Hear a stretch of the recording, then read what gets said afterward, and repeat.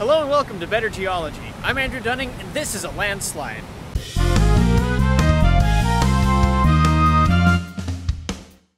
I'm here on Cape Meares on the Oregon coast, one of many rocky points jutting out into the Pacific Ocean. The flanks of these points of rock are covered in lots of loose rock, and this giant pile of mud behind me is the toe of a giant landslide. There are several types of landslides, such as rock falls, earth slides, mud flows, creeps, and slumps. At this location, the hard volcanic Columbia River basalts are overlain by soft, poorly hardened siltstones, sandstones, and mudstones. As water seeps down and saturates this loose siltstone and mudstone, it will flow down this hillside in an enormous movement of material.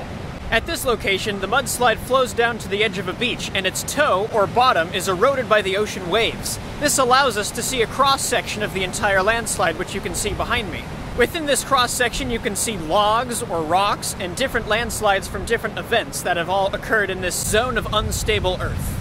When water saturates a mass of loose rock and sediment, its weight becomes greater and its tendency to stick together or cohesion also decreases. And as this happens, the earth becomes much more likely to slide down the hillside. Water flows through this loose material very easily, which serves to lubricate the surface between the moving landslide and the hard rock below. A lot of this comes out as springs here at the cliff at the foot of the landslide.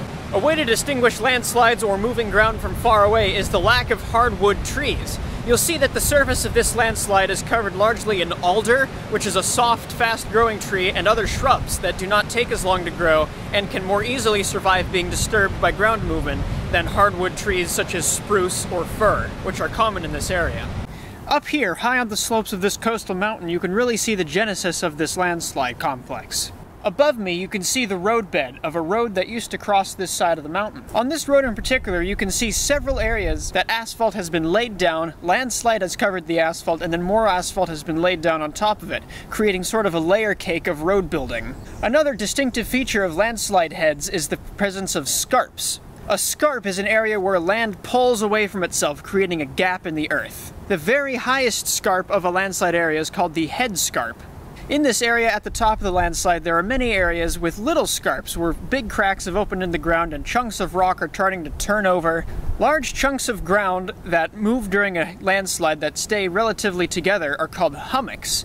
Here at the top and bottom of landslides, you can see many of these so-called hummocks by their large bumpy appearance. This area is moving actively all the time, and every time I come back here I see something different. Today I see trees that have fallen over recently and new gaps in the ground that have opened up since I was here last. This has been Better Geology. I'm Andrew Dunning, thank you for watching.